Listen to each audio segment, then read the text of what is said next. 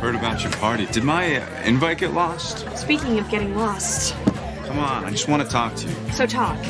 Private. When you said wait here at the dance, you really meant for like six days.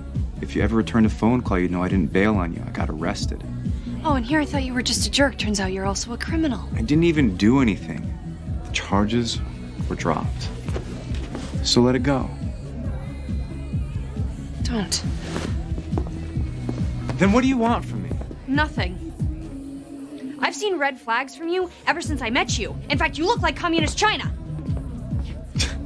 What the hell am I doing here?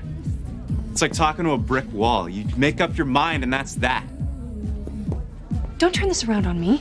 I didn't do anything wrong. Oh, of course not. You're perfect. I am not. Have fun up here in your perfect world, all by your perfect self.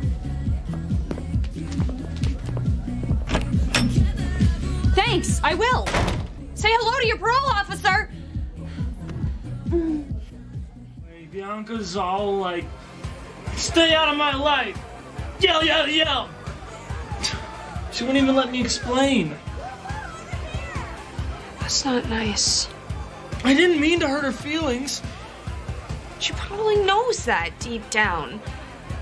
I bet she wishes she could make out with you right now. Really? How do you know? I just know things in my mind. You think I should apologize first? Yeah. Yeah, yeah, yeah, yeah. You should, you should do that. I have to make a phone call. No, come over so I can tell you something. Kat, I need you to help. Because I need to do it in person. Because I just do, just do it. Kat!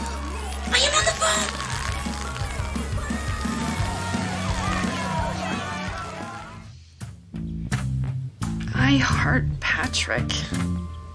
Some jerk wrote on me. Don't look at me. You're the one who called him last night and begged him to come over. Oh my god, what did I say? Why don't you ask him? I was too busy playing the role of the girl who learns to be responsible. Guess who played the girl who gets drunk and makes an ass of herself? Oh,